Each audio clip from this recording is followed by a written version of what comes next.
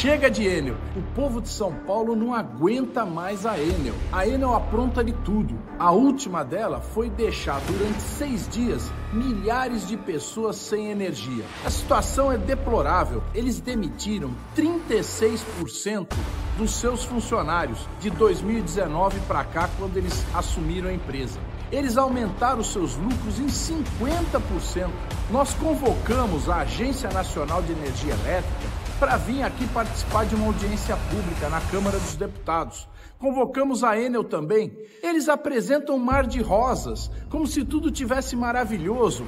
A ANEL tem responsabilidade de fiscalizar a empresa e não faz absolutamente nada. O governador Tarcísio também tem responsabilidade nisso, porque ele tem que pôr a Arcesp, que é a agência reguladora, para fiscalizar a Enel. E ele não faz isso.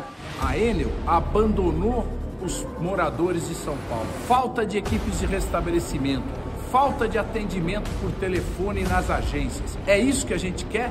É isso que quer quem quer privatizar? Chega de privatização.